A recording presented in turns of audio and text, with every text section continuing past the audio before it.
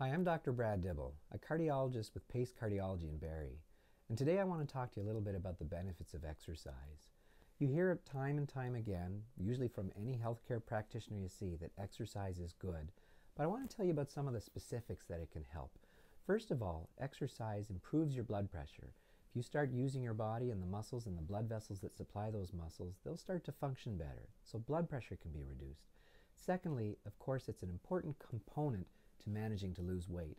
In combination with a healthy diet, physical activity helps burn those calories and get you to the healthy weight you should be at.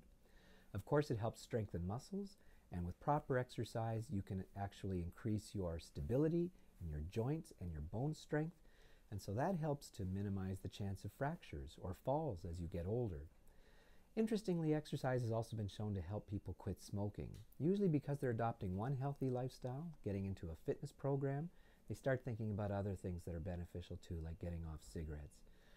Because of the benefits that happen with exercise, including keeping weight healthy, it's a great way to help fight off the development of diabetes. Probably can cut your risk by about 50%. And lastly, it helps reduce stress, and that's, that can't be underscored. There's so much stress in the world today. The person who's physically fit has better stress levels and actually has more energy. So here's a couple of quick things you can think about doing if you're going to start easing into a program. First of all, just try to find ways to increase movement in your day. So instead of finding that parking spot that's closest to the building you're going to, look for the one that's farthest. You'll never have competition, but those extra steps will make a difference. Also, try not to take the escalator or the elevator. If there's a stairwell, that's much better for you. If you have a lunch break and there's 10 or 15 minutes in there you've got free time, maybe go for a walk around the block and see if you can get some steps in there. And of course, these are only stepping stones to trying to get into a regular exercise program.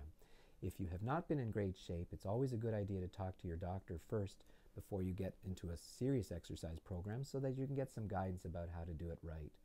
And I like to point out that other ways that you can help improve your likelihood of sticking with exercise is if you exercise with a friend and if you wear some sort of fitness tracker like a watch that keeps carries your steps in account so you, that helps to stimulate you to try and achieve the goal you're trying to get for yourself.